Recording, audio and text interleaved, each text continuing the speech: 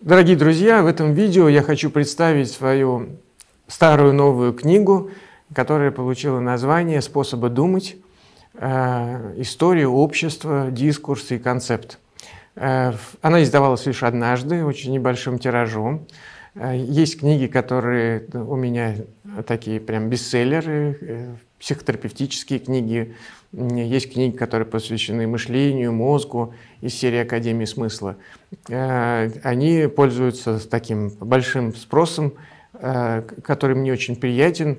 И, собственно говоря, я их писал для того, чтобы максимальное количество людей э, могли познакомиться с актуальными для каждого из нас вопросами в доступной и понятной форме.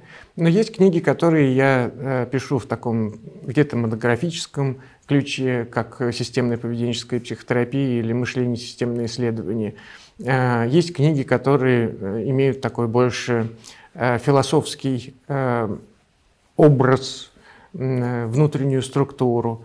К ним относится прежде всего складка времени, с которой, я надеюсь, вы уже имели возможность познакомиться. Психософический трактат, ну это вообще особая история. Вот. А «Способы думать» — это книга, Э, такого тоже философской направленности, и рассказывает она о, о нас с вами, переживших э, огромную трансформацию, э, все наше общество, э, когда мы трансформировались из Советского Союза, потом в 90-е, потом в 2000-е. Э, сама книга была написана в начале десятых годов. Вот, и я показываю, что в этот момент э, с нами происходило, но не в таком историческом как бы, перспективе, а те осколки, собираю их, э, на которые мы раскололись, для того, чтобы представить картину, общий образ того, что мы собой представляем как общество, э, как люди, которые после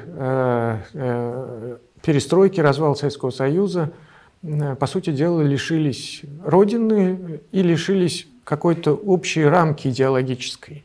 Идеологии э, – это просто способ организации людей. Они, вы можете их разделять или не разделять, но в любом случае, когда информационное пространство, пространство межличностных взаимодействий, оно прошито какой-то идеологией, неважно, христианской, э, там, советско-коммунистической, вот, или там развитого капитализма там, и так далее, это упрощает наше понимание мира, э, наше самоощущение, мы легче находим роль свою в этом мире, мы понимаем, как нам взаимодействовать с другими людьми. Вот. И, э, к сожалению, мы вот были лишены этого, эм, э, это, э, э, этой организующей нас рамки. Вот. Э, были попытки всякие разные создавать э, новые течения, новые какие-то э, идеологии, новые какие-то культурные инициативы там, и так далее, начиная там, от каких-нибудь сект, которые были чрезвычайно распространены в 90-х годах, заканчивая какими-то такими молодежными движениями, которые стали появляться на рубеже там, седьмого-восьмого года уже нового этого тысячелетия. Э, то есть разные попытки сборки. И э, когда мы думаем про это, есть разный способ как бы, дискуссии. Есть способ дискуссии, при котором значит, вот есть некий агент, несущий некую идею, и он ее отстаивает. Вот мы должны быть либеральным обществом с такими-то, такими-то, такими-то характеристиками. Есть там, а напротив него сразу тут же возникает э, такой э, ретроград, да, который говорит, нет, должно быть все по-старому, как при мне будет все как при бабке там, и так далее. Вот. И эти стороны друг друга совсем не слышат. И, э, значит, вообще конец, э, вторая половина XX века, она знаменовалась же триумфальным шествием э, постмодерна, который разрушал все прежние идеологии, все прежние, все прежние нарративы, то, как мы понимали мир, как мы к нему относились там, и так далее, информационная волна, затем цифровая волна. В общем, смыли остатки, так сказать, этого разрушенного брега. Вот. Но я в этой книге попытался использовать вот такой постмодернистский подход для того, чтобы показать, что если мы не спорим с друг с другом, то мы можем собрать фрагменты вот этого сложного идеологического поля в рамках одного такого условно нового текста, мифа, э, который способен нас вдохновить, который способен нас организовать, который способен дать нам некий э, инструмент э, для эффективного роста социума, его различных институтов, развития экономики, политики там, и так далее. К сожалению, когда я написал этот текст, э, я в нем так деликатно предсказывал кое-какие развития событий, и э, с сожалением должен для себя отметить, что,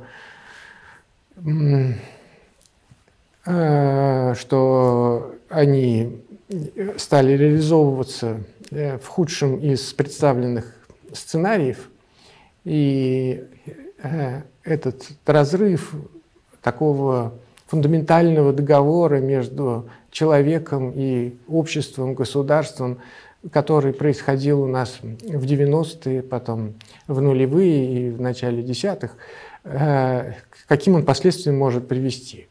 Вот, поэтому после того, как я рассказываю, как может быть, э, и, и вы дальше во второй части, ну, я сейчас часть точно вам не скажу, Э, ну, уже к концу книги э, вы увидите э, такую историю разговора обычного человека, которому, у которого нет никаких надежд на государство и вообще никакого желания с ним взаимодействовать, с такими вымышленными персонажами, одного из которых зовут Сократом, который ведет с ним сократический диалог и показывает, э, что, конечно, мы можем сколько угодно отбояриваться от истории, от общества, от идеологии, от государства, но в конечном счете все вот эти вот а, наши внутренние сопротивления приведут э, к тому, что мы же сами и пострадаем. Вот такая у меня получилась книга э, в начале нулевых. А, мне она дорога по-своему, но я, честно говоря, не собирался ее переиздавать. И в предисловии к новому изданию, ко второму, я написал, никогда не думал, что решусь переиздавать эту книгу. Но, глядя на все, что происходит, я думаю, ей самое-самое время. Надеюсь, она вам покажется интересной. Поделитесь в комментариях своими впечатлениями, когда прочтете. Спасибо. Thank you.